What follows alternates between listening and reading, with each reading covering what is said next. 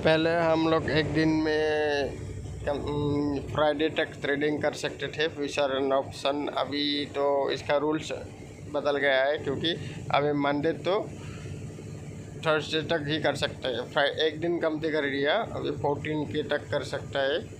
इतना दिन का साइकिल चलता है। पहले एक हफ़्ता में पाँच स्टील का साइकिल था, अभी तो एक दिन कमती कर दिया है, चार दिन का साइकिल चल रहा है। तो आप देखिए, मैं दिखा रहा हूँ।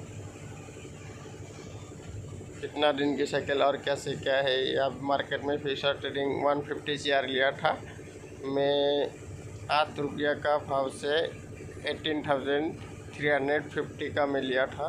अभी सिक्स थर्टी पे लॉस पे चल रहे हैं। तो पहले मैं ट्वेंटी पे लिया था एट थाउज़ेंड थ्री हंड्रेड के। उसमें फाइव हंड्रेड का प्रॉफिट मिला है मेरे को।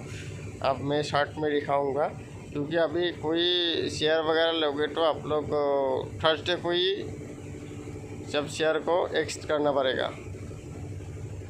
क्योंकि अभी ज़्यादा दिन का साइकिल नहीं है। अभी चार दिन का साइकिल होता है एक हफ़्ते में। तो आपको चार दिन में ही फ्यूचर ऑप्शन खरीदना या बेचना होगा।